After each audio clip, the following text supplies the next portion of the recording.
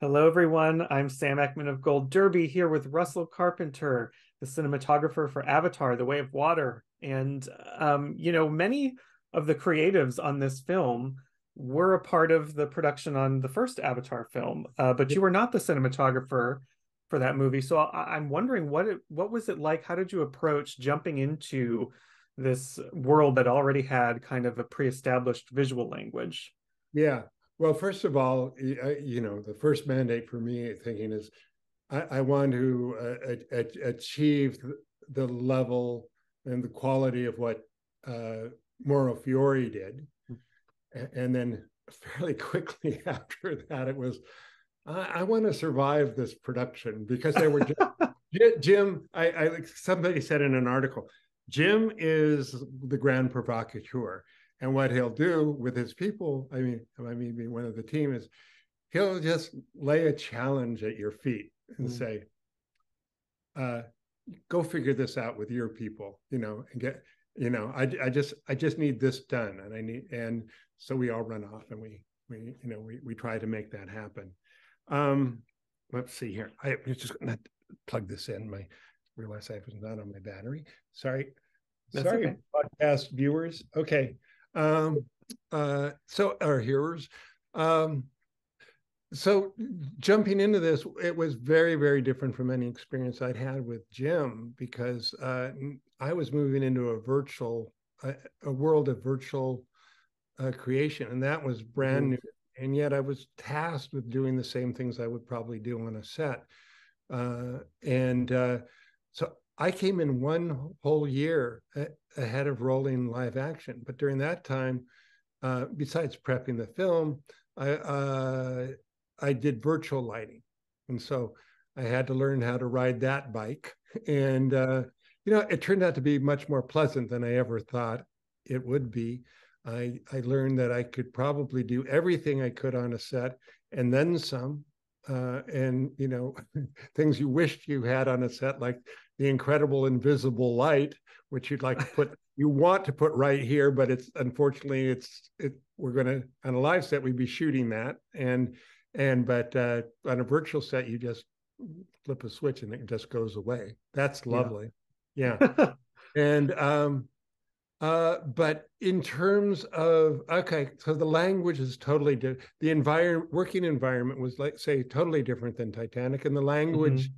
Mm-hmm. Uh, stepping into it, you know, you there there's an established language of what Pandora is, and as somebody's doing the lighting, you have to you just honor that, you know.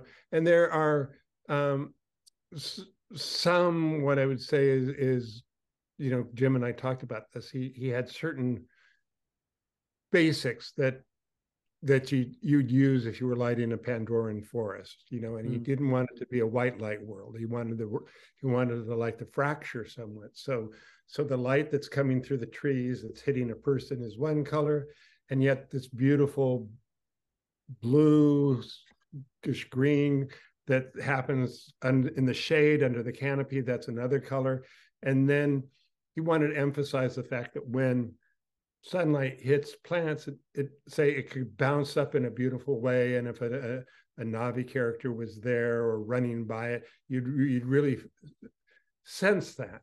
And and it was a a, a world he wanted that that Na'vi and people, you know, especially we have a human character, uh, felt connected aesthetically with that world. You know, as uh, uh when I looked at what he was doing, it it you know it felt to me. I said, "Oh, where, I, gosh, I've seen this in the work of a, a, the Hudson River School, uh, which is in the mid 1800s, and in that." And then their landscapes were fantastic in terms of how they use, used light, and it, I mean it was awe-inspiring, and and I I could connect with that in what what I had seen in the concept art and what I was tasked to do in um, in the way of water uh, also, you know, I lit a lot of sets in the Marui, and I always wanted to. You feel to the, the light coming in, you feel a connection always, even if the, you're in the the marui is open or has this maybe has this beautiful sapphire or turquoise window, and you always wanted to feel the light coming in, and and, and that there was a connection with this outside world, mm. uh, and uh, so I looked for that a lot, and then say in another scene, say the, the scene after the raid at the beginning of the film where where the raid party returns to their hiding place, which is they call high camp, or at least we were calling it high camp. And you have this strange mixture of, I mean, you have light coming up from kind of this, they're they're enclosed, but light comes in and comes up from the this canyon. It's really beautiful. And then you have, uh, as the, the the scene changes into night, you have these beautiful warm sources that you would associate with the Na'vi, but also in the high camp because you have kind of the what we call the friendly recoms have set up a base there. You also have a sense of the, the blue light that comes off of, of those. They have these lights, yeah. you know, I don't know if you saw them, but they're kind of spread all over. So here's this kind of hybrid culture working there. And I wanted to pay attention to that when uh, mm uh, when lighting.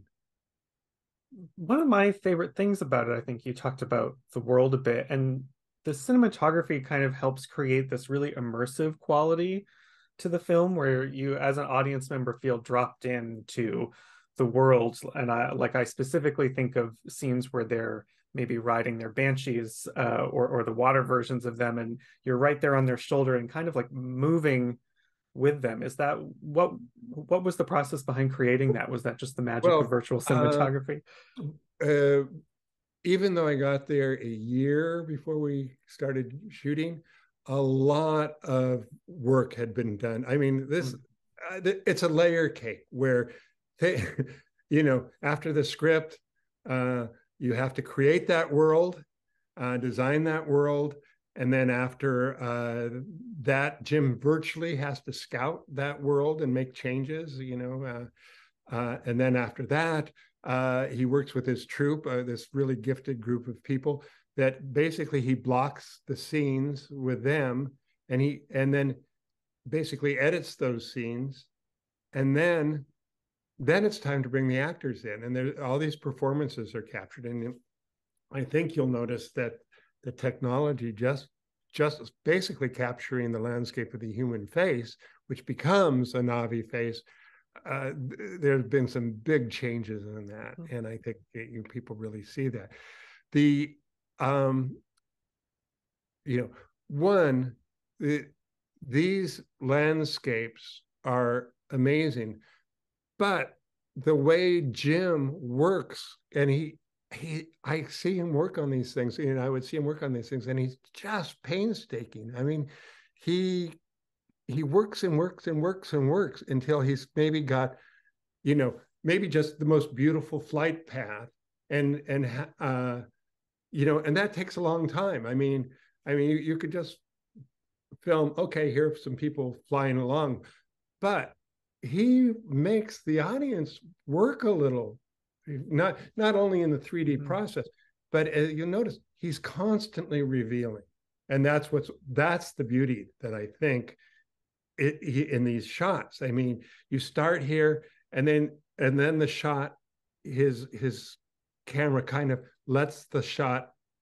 unscroll basically. Yeah. And so I, I think it's part of the genius of Jim's immersive process. Not not only you know the you know what what he's immersing you in but the fact that he's having the audience do some work as that camera angle changes more and more is revealed and now more is revealed you know it's it's pretty rare that you you just see hey here's a shot you don't it, no here's a tableau is is where he goes with it you know and mm. that's constantly changing and and um you know, yeah, they're they're beautiful shots, and all I can say is, having watched him work, I, I mean, it's like you think this guy's really smart. This must be pretty easy for him. It wasn't that. I just watched him work these shots and work these shots and work these shots till he had something that he, he wanted people to see. You know? Mm. So this was this this was a, a long process. Yeah, it's uh, sounds sounds very painstaking. Um, and as the title you know suggests, there are many underwater sequences, whether it's a very awe-inspiring uh, shot of the Tulkun or or it's within a sinking ship going through those bowels of the ship. What is the most difficult part of shooting an underwater sequence? Well, um, well, well, the help there is that everything's been pre-visualized, and uh, and so, and then it gets you go through this process called tech viz, and then you know basically where the camera has to go, and we then we have the creative part for us starts to become how are we going to realize this shot? Underwater is pretty much the same as it was with Titanic, which is a massive headache. You know? Well, at least you have the experience with it. Yeah, I have the experience, except that uh, Rose and Jack weren't wearing masks, uh, which Spider was. And as soon as you put a mask on somebody, you see every light you know, you know, yeah. you see the lighting over in craft service. I mean, it was, you know, I mean, it's just that happens. And now, you now, now you've now you've got a problem on your hands. We we actually tested that mask that he was wearing over and over again, and made some modifications, and it made it a little bit easier to to light. But uh, it was working underwater is still uh, like it was on Titanic. It's it, it's very slow going, you know. Even though luckily we have different technology, different lighting technology that's easy to handle. Yeah, I literally you can take take your light, your waterproof fluorescent, put it where you want it to, and then it's has this battery in it, and it's all remotely controlled, and it you can make any color out of it. That was that was one thing, and yet still it managed to sometimes take so long. Uh, you know, when, you know, every once in a while you have a, I wish I'd never been born day. And, uh, and, and those, those usually happen when we were working in the tanks, you know, just because of, you know, it's complex. What, what can I'm I sure. Say? Yeah. well, we're glad you were born because it, it, turned out very well. I think the effort okay. was worth it. Uh, yeah. Yeah, and I feel a lot better having seen you know the picture and, actually slogging through a day in the tank.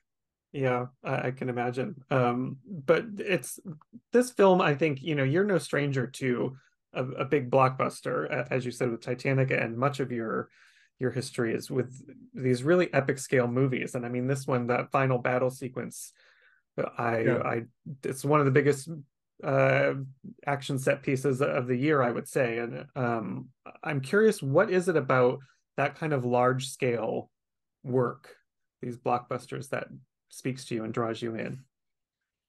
Uh, boy, you know, I see that scene, and, and it goes.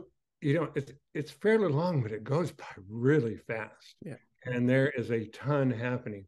Usually, the problems are the, the same I had in the in the forest, uh, which is, uh, well, not quite the same, but at a certain point, I get tasked with, you know, a, a lot of percentage of the day going to working with Spider. We're working with a spider who actually is is growing pretty fast. So you know you're on the clock.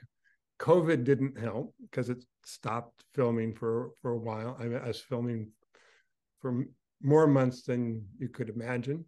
And uh, coming back to that, it, the problems are still the same. I, eventually, I'm just tasked with I've got to merge every human character in the film seamlessly because if you don't if you don't get the lighting right there there are little things you know if you get them wrong it somehow triggers the audience and takes them out of the film for a little bit you know mm. every you know, everybody knows what daylight looks like.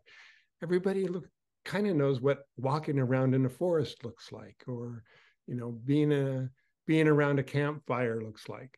You you just you know, l- luckily we had our systems, our lighting systems that collected all our information and years later we could look at it that hey what did we do in the lighting and you have that to match with eventually but it all comes down to uh, you know your your instincts we had its marvelous program called simulcam which in real time com- composites the virtual the virtual environment that was shot two three years ago with the human character that you're shooting in such a way it composites it so um, in a, in a way that embeds the character in the environment without all the things that you usually see when you're trying to do you know you you've heard oh we're gonna we're gonna do half the composite and we're gonna fade it into i mean we're gonna fade it halfway into the real and then you're kind of looking at